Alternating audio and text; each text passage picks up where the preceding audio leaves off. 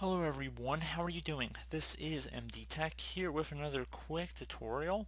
In today's tutorial I'm going to show you guys how to hopefully resolve if you're coming across an issue on your Windows 10 computer where your PC is running into a problem and needs to restart. So if you find yourself continuously restarting your computer, this tutorial will be for you. So first thing you want to do is launch into the automatic repair utility. So if you're able to boot into Windows, you can just open up the start menu and hold down the shift key while selecting restart Otherwise, you can do a hard power off three times in a row as you see on my screen right now. So I've already powered down the system, so turned it on, waited for the boot screen to come up, and then I pushed the power button in.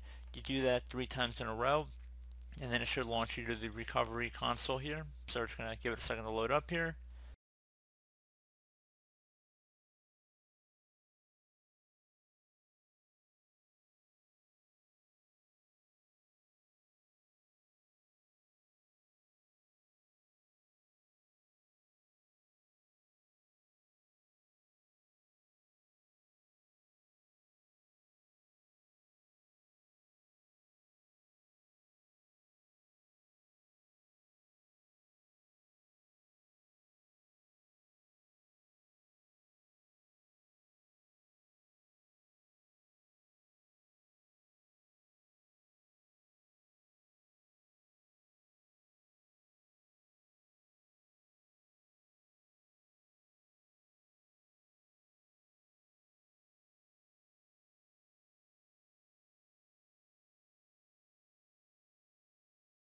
Okay, so automatic repair, your PC did not start correctly.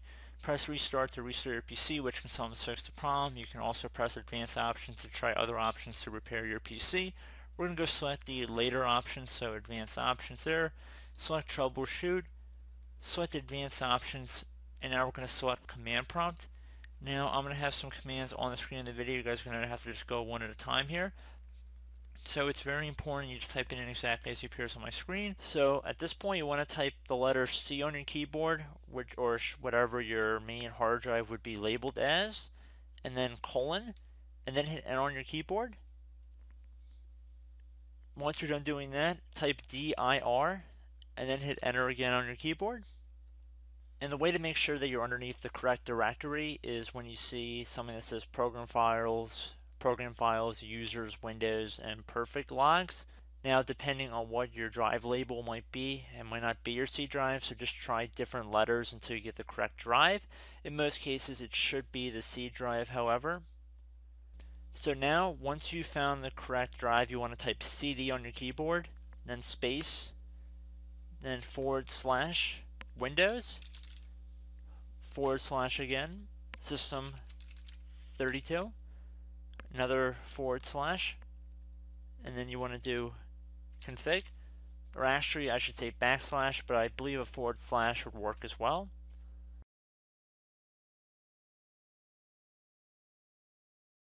Once you're done typing this in, you want to hit enter on your keyboard.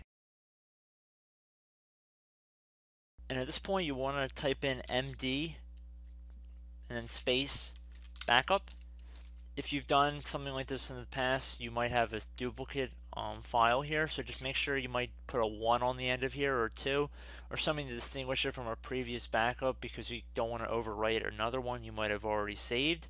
So once you're done typing that in, you're going to hit enter on your keyboard again. So at this point, now you're going to type in copy, space, now you're going to do a little star, dot, and then another star another space, and now you're going to type backup, and then hit enter on your keyboard again.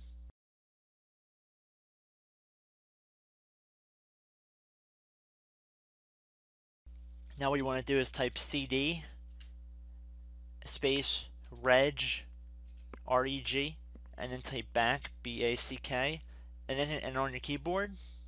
Now you want to type dir again all lowercase, doesn't really matter, but I'm going to do all lowercase and then I'm going to hit enter on my keyboard again. Now, please note in my case, I have all zeros next to these entries. Um, if it says zero next to your entries, and this will not work for you if you continue forward, so stop here. Um, I would recommend going through System Restore or Startup Repair and trying to resolve Windows through that. However, due to my computer's environment, I only have zeros here. But if you guys have values that are not equal to zero, there should be really long strings of numbers next to all of these settings on the left side. So just looking here, um, if you see all zeros, then like I said, go through system restore. If not, if you guys do have numbers, it should be several million number place values and quite a few of these. Instead, you're going to type in copy space star dot star another space and then two dots back to back and then hit enter on your keyboard. When it says overwrite type the letter A on your keyboard and then hit enter. And then at this point you can type exit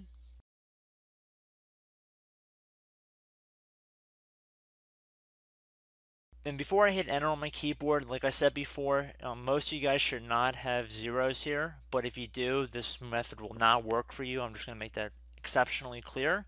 So anyway, we have exit typed in here, so I'm going to hit enter on my keyboard to confirm that command. And then underneath choose an option, I'm going to select continue, um, exit and continue to Windows 10. And again, I hope, I do sincerely hope it works, and I hope to catch you in the next tutorial.